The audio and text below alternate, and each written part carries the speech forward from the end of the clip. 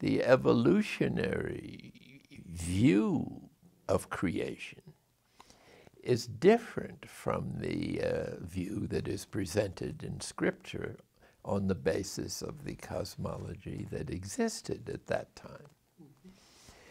Uh, so there's a lot of truth contained in that cosmology, but it, it doesn't satisfy the modern understanding, which has vastly increased the understanding of how, how the immensity of the universe continues to expand and how its infinitesimal quality continues to unfold. It was only this summer, wasn't it, that they discovered the boson, who it seems to be the principle of changing invisible energy into visible forms of one kind or another.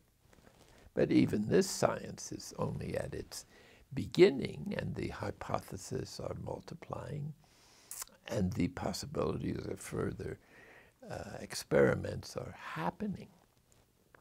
We're looking at a God who is just plain different from the one that he previously conceived. There's nothing wrong with this because God adjusts himself to our limitations. I won't say that what we have learned up till now is useless. It's necessary as fundamental preparations for the human condition, evolved as it has been from material uh, sources, to give it a give it really a, a chance to, to love God more. That's really what it amounts to.